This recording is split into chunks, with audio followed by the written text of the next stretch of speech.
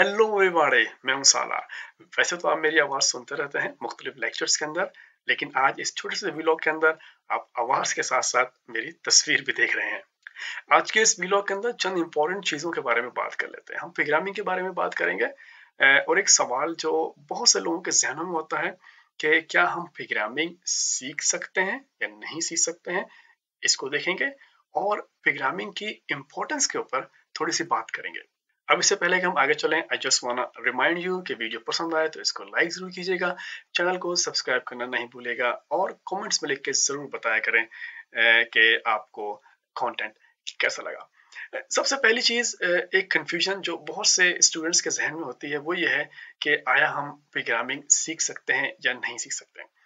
देखें as a programmer and being a programming lecturer मेरा ये बिलीव है कि हर इंसान प्रोग्रामिंग सीख सकता है। अब यहाँ पे जो चीज़ समझने वाली है, वो ये है कि प्रोग्रामिंग को सीखना और प्रोग्रामर बनना, ये दो अलग अलग चीज़ें हैं। मेरा ये मानना है कि हर कोई प्रोग्रामिंग सीख सकता है, लेकिन हर कोई प्रोग्रामर नहीं बन सकता। उसकी वजह यह है कि हर इंसान के इंटरेस्ट मोटिवेशन और सर्कमस्टांसेस डिफरेंट होते हैं।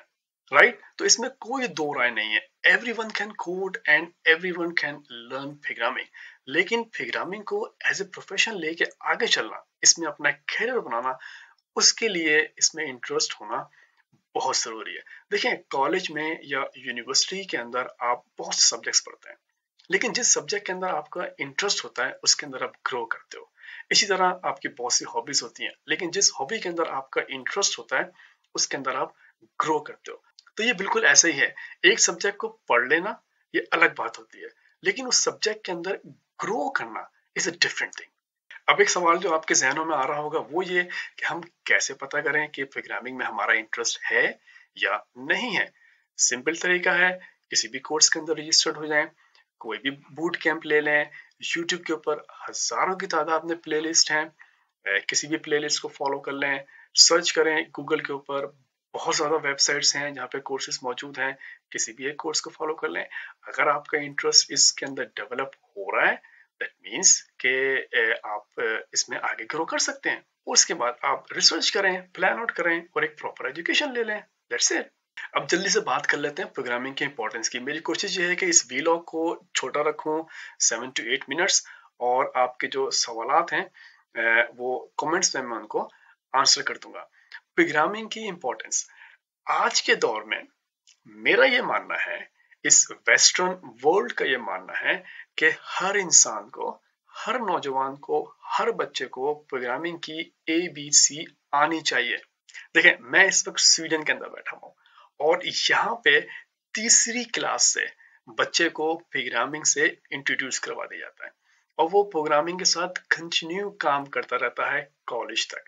वो अपने फिजिक्स की प्रॉब्लम्स को प्रोग्रामिंग के थ्रू सॉल्व करता है, वो मैथमेटिक्स की प्रॉब्लम को प्रोग्रामिंग के थ्रू सॉल्व करता है और इवन वो प्रोग्रामिंग एज ए सब्जेक्ट भी पढ़ता है। अब यहाँ पे जो इंटरेस्टिंग क्वेश्चन रेज होता है वो ये है, क्या स्वीडन और जो दूसरी वेस्टर्न कंट्रीज़ हैं, क्या वो बस प्रोग्रामर ही प्रोड्यूस करना चाह रही है? वो हर बच्चे को जो है वो प्रोग्रामिंग पढ़ा रही है?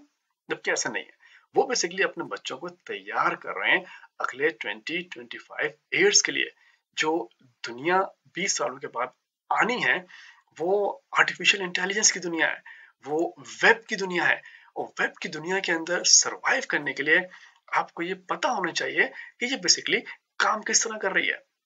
और प्रोग्रामिंग वो वाइट टूल है जो आपको ये बताती है कि ये जो पूरा डिजिटल स्ट्रक्चर है, जिसके अंदर हज़ारों तरह की सर्विसेज़ हैं, जिसके अंदर वेब है, जिसके अंदर आर्टिफिशियल इंटेलिजेंस है, जिसके अंदर डाटा हमारा यहाँ से वहाँ जा रहा है ये बेसिकली किस तरीके से बनी है? तो यही वजह है कि इन वेस्टर्न कंट्रीज़ के अंदर प्रोग्रामिंग एक ऐसा सब्जेक्ट है जो कि सबको पढ़ाया जा रहा है।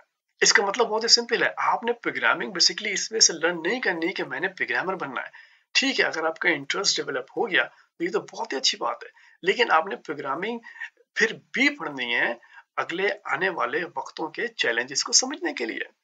और सिर्फ़ आपने ही नहीं सीखनी, आपने अपने बच्चों को भी प्रोग्रामिंग से इंट्रोड्यूस करवाना है। आपने उनको प्रोग्रामिंग की ए बी सी सिखानी है। आने वाला वक्त क्या होने वाला है, इसकी छोटी सी एग्ज़ाम्पल अभी आप देख सकते हो चैट जीपीटी की शक्ल के अंदर। तो प्रोग्रामिंग की नॉलेज बेसिकली एक कॉम्पिटेंस है जिसकी आपको ज़रूरत है आने वाले वक्तों में। आपको समझ में आएगा, बेहतर अंदाज में कि ये जो डिजिटल दुनिया है, ये किस तरीके से काम कर रही है। इसके अंदर कौन सी ऐसी चीज़ें हैं जो कि प्रॉब्लमेटिक हैं, जो कि डेंजरस हैं? इसका क्या फ़ायदा है? इसका क्या नुकसान है? और बीइंग अ पेरेंट अगर आपको ये पता होगा तो आप अपने बच्चों को भी बेहतर गाइड कर सकते हो। यहाँ यूरोप के अंदर पेरेंट्स प्रोग्रामिंग के कोर्सेज लेते हैं, ताकि वो प्रोग्रामिंग को समझ सकें, वो आने वाले वक्त को समझ सकें, फिर उसके हिसाब से वो अपने बच्चों को गाइड कर सकें और उनकी प्रॉब्लम्स को भी समझ सकें। मैं खुद ऐसे पेरेंट्स को कोर्सेज पढ़ाता हूँ स्टॉकहोम के अंदर और गौतमबर्ग के अंदर, जिनकी ये ख्वाहिश होती है कि हम ये सीखें और फिर सीखने के बाद हम अपने बच्चों की हेल्प करें। राइट तो प्रोग्रामिंग सीखना मेरी नज़र में हर किसी के लिए ज़रूरी है। प्रोग्रामिंग की अगर नॉलेज होगी तो आप इस डिजिटल दुनिया को, आने वाले वक्त को अच्छे तरीके से समझ सकेंगे और क्रिटिकल एनालिसिस कर सकेंगे।